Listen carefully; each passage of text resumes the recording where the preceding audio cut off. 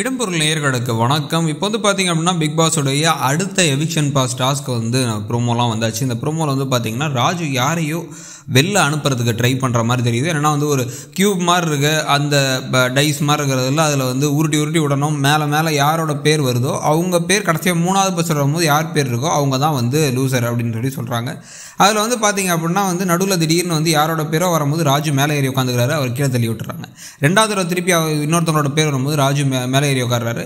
அப்போ அக்ஷரா வந்து இப்போ இந்த பேர் இருக்குது எனக்கு இதை மாற்றணும் நான் நீ மேலே ஏறி உட்காண்டா நான் என்ன செய்யணும்னு கேட்குறாங்க கேட்டதுக்கு அவர் வந்து சும்மா இரு அப்படின்னு சொல்லி சொல்கிறாரு இந்த சும்மா இருன்னு சொல்லும் போது யாரோட பேர் இருந்துச்சு அப்படின்னு சொல்லிட்டு நம்ம இந்த பழகையெல்லாம் வச்சு எல்லாத்தையும் வச்சு பார்த்தா இது அக்ஷராவோட பேர் மாதிரியே தான் இருக்குது ஸோ அக்ஷரா அவங்களை காப்பாற்றுறதுக்காக தான் அவங்க வந்து அதை சொன்ன மாதிரி தெரியுது. ஸோ வந்து அப்படி சொல்லும் போது ராஜு சும்மா இரு அப்படின்னு சொன்னது எதுக்காகவா இருக்கும்? இல்லை வந்து அவர் அக்ஷராவை வெளில போகணும்னு நினைக்கிறாரா? அப்படிங்கிறது தான் அடுத்த முக்கியமான ஒரு கேள்வியாக இருக்க போகுது. ஸோ நீங்கள் அக்ஷராவை தான் அவர் வந்து வெளில போகணும் அனுப்பணும்னு நினைக்கிறாரா? இல்லை வேறு யாராவது அனுப்புனா நல்லா இருக்கும்னு நினைக்கிறீங்களா? அபிநயோ அமீரோ இல்லை வந்து வேறு யாரும் அனுப்புனா நல்லா இருக்கும்னு நினைக்கிறீங்க அந்த அஞ்சு பேரில் அப்படிங்கிறத கமெண்ட் செக்ஷனில் சொல்லுங்கள் தேங்க்ஸ்